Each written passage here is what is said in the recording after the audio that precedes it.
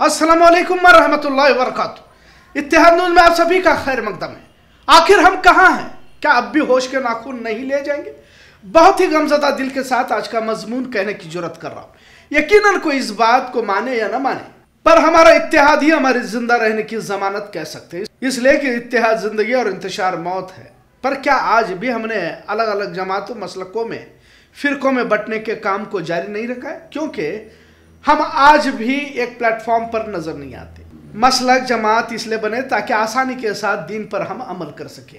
मैं कोई इल्मी दानीश्वर नहीं हूँ, लेकिन इतना ज़रूर समझ चुका हूँ कि कलमे की बुनियाद पर ही मुतहिद होकर हालात का मुकाबला करेंगे तो आने वाली नस्लों की हिफाजत कर पाएँगे।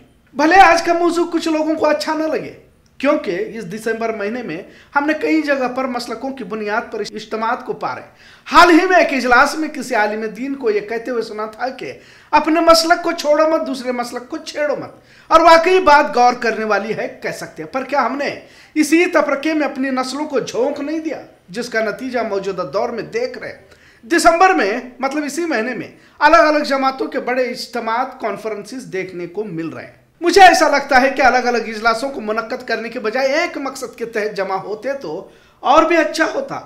भोपाल में एक बड़ा इज्तम हो रहा है तो बंबई में दूसरी जमात का बड़ा इज्तम हो रहा है, हैदराबाद में एक और जमात का इजलास हो रहा है। मतलब हम किस तरह से बटे हुए हैं?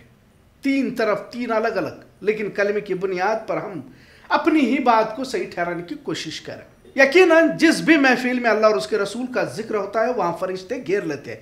पर उम्मत के दहकते मसाइल पर एक होकर कोई मनसूबाबंदी पर सरों को जोड़ लेते तो ज़्यादा बेहतर होता ऐसा लगता है। अलग अलग मसलक, जमातों की बुनियाद पर इस तरह के इजलास और भी ऐसे वक्त में जब पूरी शिद्दत के साथ फिरका परस्त मुसलमानों पर हमला हो रहे हो और हम अपनी जमातों को फरोग देने के लिए मैं अपनी सोचो फ़िक्र की बुनियाद पर इकट्ठा हो जाए, ये कहाँ तक सही है वो मुझे तो मालूम नहीं है। क्योंकि बड़ी बड़ी जमातें और उनके उलमा, उनके रहनुमा, लाखों लोगों को जमा कर रहे हो तो शायद उन्होंने बेहतर ही सोचा होगा। पर साथ में यह और भी अच्छा होता है कि तमाम जमातों के लाखों लोग महज कल में तैयबा की बुनियाद पर एक होकर अपनी कुवत का मुजाहरा करते तो फिरका परस्तों पर और भी ज़्यादा असरअंदाज हो जाते।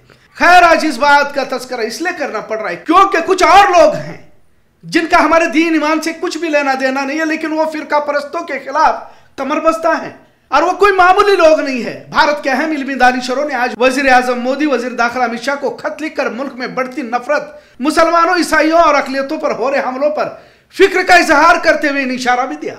इस खत पर दस्तखत करने वाले में तकरीबन सौ लोग हैं, लेकिन उसमें अहम जो है एनसी सक्सेना, भारत के प्लानिंग कमीशन के सबक सेक्रेटरी नजीब जंग, दिल्ली के सबक लेफ्टिनेंट गवर्नर, शिव मुखर्जी बर्तानिया में हिंदुस्तान के सबक गवर्नर अमित पांडे हुकूमत में बैन रियासती काउंसिल के सबक secretary S Y Qureshi, Bharat के सबक चीफ इलेक्शन कमिश्नर नौरिखा शर्मा, इंडोनेशिया में हिंदुस्तान के सबक सफीर, कई दूसरे रिटायर्ड अहलकार ने इसमें अपनी दस्तखत दर्ज की है। कहने का मतलब एक कोशिश हमारे लिए, हमारे तहफ़ के लिए और फिरका परस्तों के खिलाफ कुछ लोग सरगर्म है। भारत के तमाम इलमी माहरीन ने सबक आला अफसरान ने मोदी हुकूमत को एक तरह का इशारा दिया है कि मुल्क के मौजूदा हालात में इंतहा की नफरत हिंदू मुस्लिम दुनिया देश के लिए नुकसानदेह है। और इस पर तवज्जो फरमाए। कुछ ने तो मुल्क में जल्द खाना जंगी की तरफ़ इशारा भी किया है। सबक अफसरान के वफद ने लिखा है कि बंटवारे के बाद मुल्क मजहबी तशद के शोरों में जलावा देखा गया। लेकिन पिछले दस सालों में जो नफरत है वो अलग तरीके की है। नफरत फैलाने में खुद रियासती हुकूमत सियासी लीडरान भी शरीक है और इंतजामिया का एक समाज को लेकर रवैया सोचने पर मजबूर करने वाला है। भारत में बढ़ते नफरती बयानबाजी का ज़िक्र करते हुए खत में कहा गया कि बिफ ले जाने के इल्ज़ाम में पुलिस नौजवानों को धमकाने या पीटने की वारदातों से इसकी शुरुआत हुई। फिर वही बेगुना लोगों की लिंचिंग में बदल गया इसके बाद साफ़ तौर से नस्ल कशी के इरादे से इस्लामफोबिया नफरत भरे बयान दिए गए। हाल ही के दिनों में मुस्लिम ताजिरों, कारोबारियों को दुकानों, रेस्टोरेंट्स का सामाजिक बाइकआउट के ऐलान खुले मंचों से किए गए।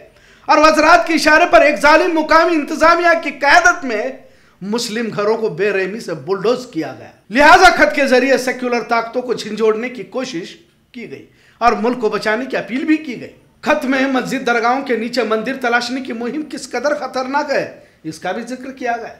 मुल्क के अदलिया पर भी सवाल उठाते हुए कहा गया कि बारहवीं सदी के सूफी ख्वाजा गरीब नवाज़ की दरगाह के नीचे मंदिर होने की अरदाद को अदालत की जानब से मंजूर करना तस्वुर से बाहर है। आखिर में वज़ीर आज़म मोदी और वजर दाखिला से मांग की गई है कि मरकजी सतह पर तमाम मजाहिब के लोगों को बुलाकर मुल्क में भाईचारा, आपसी इतिहाद को मज़बूत करने के लिए इजलास तलब किया जाए। वाकई ऐसे दौर में सरानी इकदाम कह सकते हैं। एक ऐसी तहरीक जिसमें मुल्क के बड़े बड़े इल्मी दानिश्वर आला अफसरान जिसमें अक्सर गैर मुस्लिम है ये बात काबिल तवज्जो है।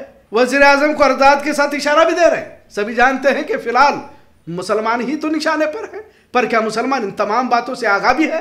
और अगर आगा है तो बजाय आपसी इतिहाद के मसलक की बुनियाद पर इजलासों को छोड़कर एक प्लेटफॉर्म पर क्यों जमा नहीं हो पा रहा दिगर मजाहिब के लोग जिनका किसी तरह का ईमानी रिश्ता हमसे नहीं है, लेकिन मुल्क में भाईचारा कायम रहे, इसके लिए पेशकदमी कर रहे हैं। पर हम हैं कि आज भी बड़े बड़े इजलास सिर्फ़ मसलक जमात की बुनियाद पर करते रहे। क्या सही है ये? पिछले सत्तर सालों में हमने यही तो किया है। सुबह एक दूसरे को गलत साबित करने के हमने किया ही क्या है? और इसके लिए किसे जिम्मेदार ठहराया जाए? क्यों तमाम जमातों के जिम्मेदार मिलकर आज जो बड़े बड़े इजलास, मसलकों की बुनियाद पर करोड़ों रुपए खर्चा करके लाखों लोगों को जमा रहे हैं, इस्लामी इतिहाद की खातिर ये इज्तम क्यों नहीं हुआ करते? क्या आज भी हमारे दिलों में एक दूसरे को लेकर केना बुक्स कपट है? फिर हम एक क्यों नहीं होते?